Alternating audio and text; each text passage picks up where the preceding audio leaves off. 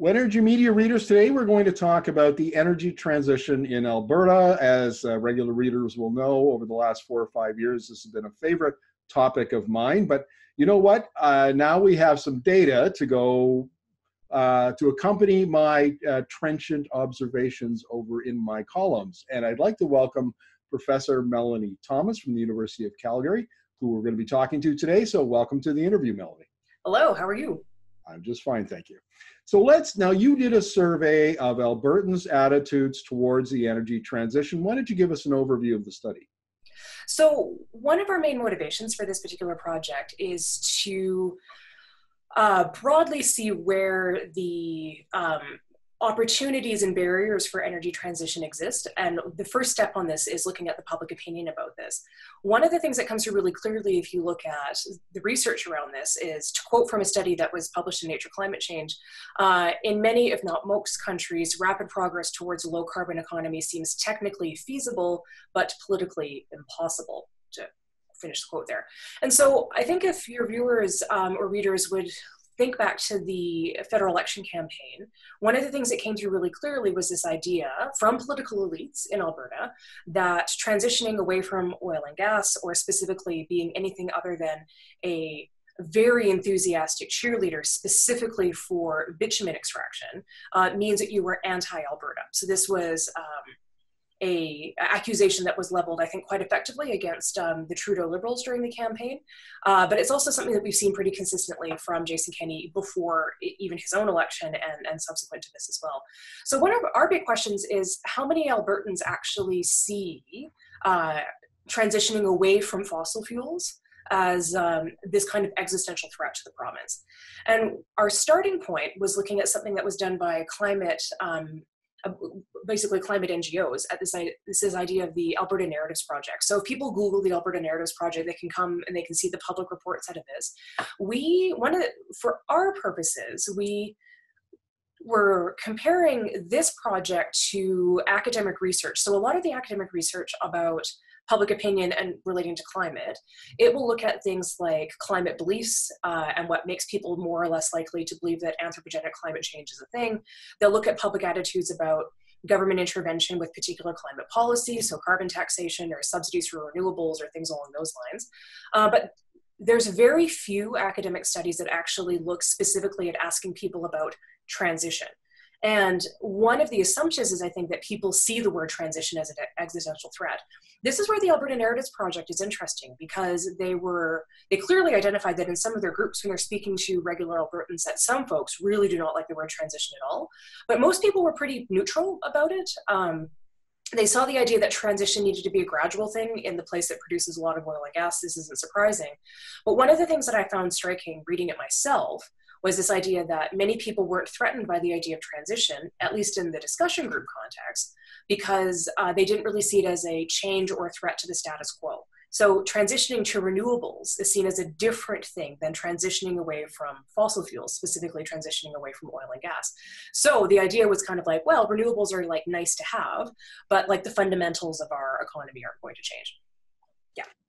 Terrific. Uh, that, now, I understand that, and, and, and Abacus Data is an Ottawa-based polling company that has done a lot of climate and uh, oil and gas and pipeline polling over the last uh, four or five years. And I, I thought that the data that you came out of your study was remarkably consistent with what Abacus has found.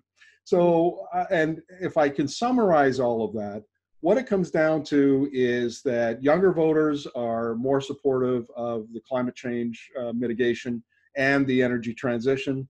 Uh, older voters are less supportive, and then conservative voters are much, much less supportive than, say, Liberal and NDP, uh, Alberta Party kind of voters. Is, is, is that a fair observation?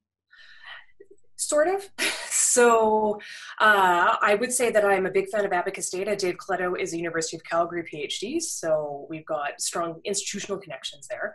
Um, our data, I would draw slightly different conclusions from that, and the conclusions that I would draw would be that we see that things like age and other sociodemographic factors like, say, gender, uh, which consistently comes up in a lot of other research, they don't have very large effects. What has the bigger effect are um, people who, even working in oil and gas, actually doesn't do nearly as much as people who are what we identify as economic conservatives, people who believe that uh, oil and gas will remain Alberta's um, most important industry, and people who are genuinely worried about climate change. So the conclusion that I would draw is that what forcefully structures how people think about energy transition are pre-existing values and beliefs about say the political system in general or about the market in general uh, as opposed to more political kinds of variables. This is not to say that like being um, on the left or on the right doesn't do stuff. It does. Or being a ucp supporter versus a new democrat supporter provincially like these things matter too but the the scope of the effect or the magnitude of the effect at least in our data um, are uh, they're much smaller compared to some of the attitudinal stuff i will say though because people will want the caveats on the data we have a big, robust sample, which is good, but our sample is from Albertans who took the vote compass. And so this means that they are, there are a few things that makes the sample less representative than Albertans as a whole. Uh, our sample is more middle aged, so we're way more likely to have people who are between 25 and 65, but we've got fewer people who are younger and a lot fewer people who are older. And our sample is much more likely to be uh, university educated than the Alberta population. But beyond that, we still have like 26% of our sample reports that they work in oil and gas.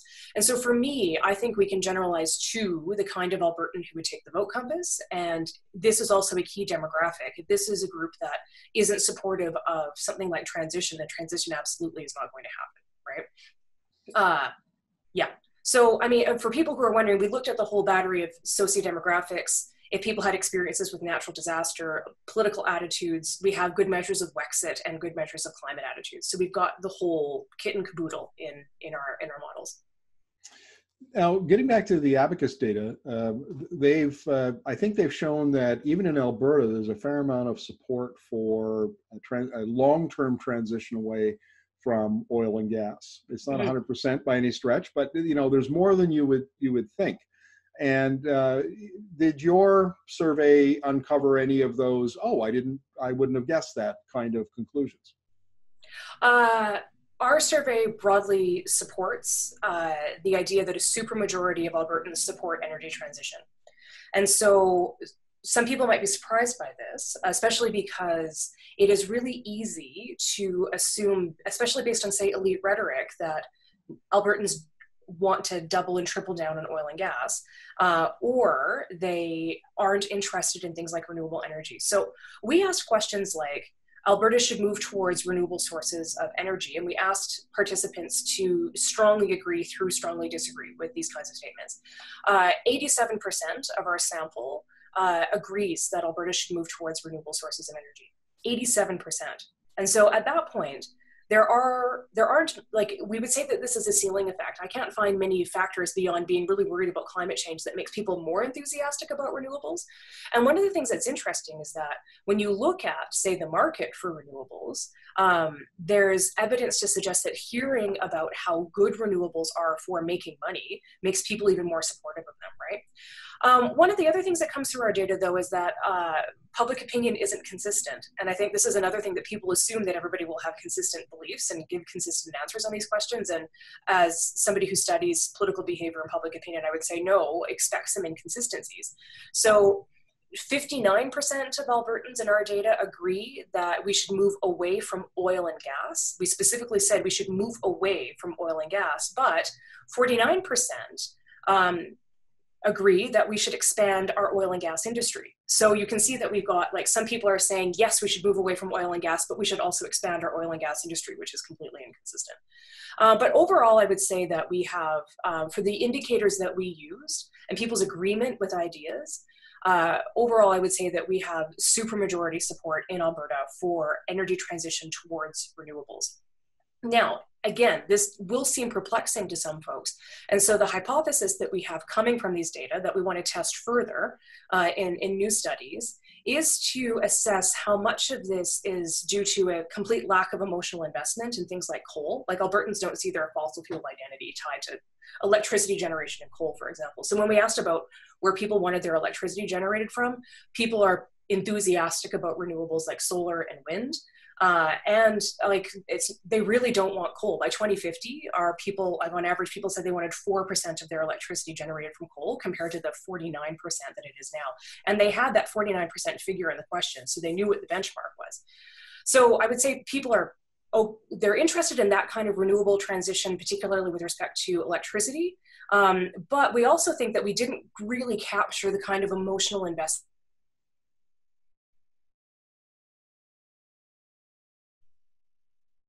It's kind of like this Alberta mythology. And so one of the things that we're going to test is to see whether or not some of that inconsistent, inconsistently, inconsistency, sorry, comes from uh, different ways of thinking about particular parts of the energy sector, say.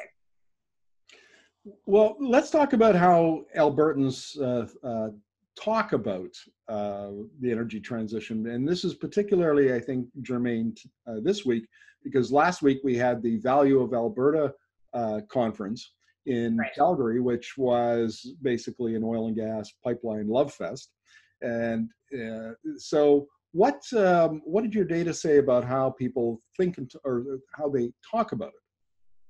Well, we don't, because it was an online survey, we don't have a lot of conversation coming back and forth, but we did leave an open ended comment section on the survey. We always enter surveys with this if people have ideas or insights that they would like to share, or if they particularly liked or disliked some of the questions that we asked. And one of the things that's interesting going through these comments, it's a kind of uh, people, when they feel really strongly, they will let you know about things. And so some folks found that even asking about this stuff in this way, which is, like I say, it's scientific, it's verified, we're replicating measures that are used in election studies internationally, things along these lines. Um, some people find like the idea of even raising these questions to be traitorous. Uh, these were certainly voices that were in the minority in our data, and I think that they are in the minority in the population in general, but they are very loud and they are very um, I mean, some of the comments we got were downright vicious, which is fine. Like, it's people's prerogative to tell us. We do invite what they actually think. But when I see conferences like this, what I see is an elite apparatus that's supporting a very loud, uh, but very angry, but very small minority. And so one of the things I'm seeing uh, in these data is that there are a lot of people who are um, thinking very differently and they are certainly quieter, which means that they are underrepresented in terms of like the actual proportion of folks that actually think that way. So, one of the things that struck me as a reporter who covers the energy transition and does so both nationally and internationally is the extent that over the last uh, 12 to 18 months, I would say, the energy transition has entered the popular lexicon. I mean, mm-hmm. everybody's talking about it now. It's, you know, we, we whether it's uh, the BlackRock's $7 trillion asset management fund or it's the International Energy Agency everybody acknowledges that we're in an energy transition mm-hmm. from fossil fuels to uh, low carbon uh, technologies, except Alberta. Mm-hmm. And this reminds me very much of the conversation one might have in, say, West Texas, around the Permian Basin, around the Midland Odessa area. It's culturally very similar in, in some ways to, to Alberta, but really out of step, it seems to me, with other parts of the world and even uh, the national conversation. Is that a fair comment? I think so. And for me, the most uh, interesting finding from a results perspective and then also the most alarming finding from a what what does this all mean perspective is the really strong effects that we see when people self-identify as economic conservatives. So to identify somebody as an economic conservative we ask four questions. One is that everybody benefits when business makes a lot of money one that the private sector um, the government should leave it entirely up to the private sector to create jobs one is the idea that government has a responsibility in redistributing income, and one is the idea that the economy or the environment should take precedence over the economy. So these are agree and disagree questions, and people who are paying attention will know that for two of those questions, if you agree with them, that's consistent with being an economic or a market conservative. And with two of them, if you disagree, that's consistent with being an economic or market conservative. So we make sure that everything is uh, presented in the correct direction, and then see how this affects those questions about transition that we were asking. Uh, and it is consistently our strongest negative predictor. So, market conservatives, or what we identify as economic conservatives, are the most opposed to um, the idea of energy transition in Alberta.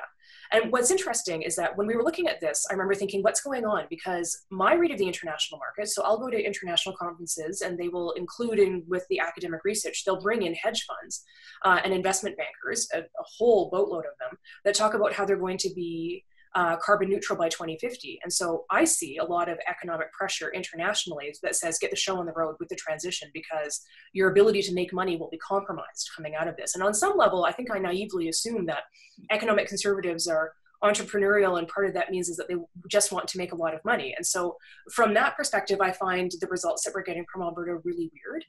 One of the things that we did because we've got those four questions in i said okay so say this is about like attitudes about the environment. What happens if i take that question about the environment being more important than the economy out of my measure of economic conservatism? So it's just about everybody benefiting when business does well. It's just about private enterprise should be creating jobs, not government, and that the government should stay out of income redistribution, it's still my most important negative predictor of opposition to transition. And so, one of the things that we need to do in the next steps of our study is to, I think, refine this measure of to because of course my first question is whether or not i'm actually getting at economic conservatism this is a standard measure that we use but so i don't know how much of this I need more evidence before I say that like the Alberta business is in a myopic bubble and that they're not picking up on um, cues from the international market to their detriment. But the evidence, at least in a preliminary stage, strongly points in that direction. Like I say, we will we'll measure this, and one of the plans that we have, we'll measure this in different ways. And one of the plans that we do have is to, with our next data collection, to compare to replicate what we found in Alberta and that because that will give us greater confidence in our, confidence in our results, but also compare to other Canadians. Because I get the impression that while downtown Calgary very likely could be in this bubble, especially about um, the energy business, I don't think that Bay Street is. And so if we get a distinct difference between those two corporate headquarters in Calgary, in, in Canada rather, I think that that will give me more confidence in being able to say that this is a, a market bubble that's myopic and um, I think really missing the point that if folk want to keep making money, that the transition is the best way to do that. Well, Melanee, uh, any final thoughts on uh, your survey? Anything we uh, we should have talked about that we haven't talked about? So one of the things I always say about public opinion in Alberta um, is that we are not nearly as we are not the stereotypes that we're presented as. Uh, and the other thing that comes through clearly when we look at this is that Alberta is often not very different than other parts of Canada. And so even on our economic conservative measure, um, our average is like we don't even hit like the the halfway, like I'm halfway economic conservative. We're on the like economic not conservative side of the spectrum, even in Alberta, right? And so one of the things we've spoken a little bit about this before but one of the things i see when we compare the kind of discourse that floats around about this stuff to the actual measures of public opinion that we have is that even though there isn't a lot of disagreement um, between albertans and say other canadians and that even though albertans are consistently moderate if not tilting um, i mean sometimes we tip to the conser- conservative side of things but usually we're moderate or even on the left side. Um, this doesn't necessarily mean much in a context where people have a social identification with their political party. So two things I want people to like forcefully bear in mind that the differences that are informing things like Western alienation or regional alienation and this like Wexit stuff that seems to have simmered down but like could easily be picked up again. Um, this isn't actually about substantive policy. And I know that you're going to get comments of some people saying, yes, yes, it is, but I would need much different systematic evidence in order for me to academically endorse that conclusion. But what I do see and there's really good research from the United States about this, and we've got um, an increasing batch of evidence from Canada that people can agree on a policy, but if they are in different partisan camps, they just want to beat the other side, even if beating the other side means that we end up with a policy context that makes everybody worse off. Literally, people would rather just win on the partisan side of things than work together to achieve the goal that they both know that they share. And so, what I continue to see in the Alberta context is um, partisanship as a social identity that's being used as the primary motive for a lot of the stuff that we're seeing here.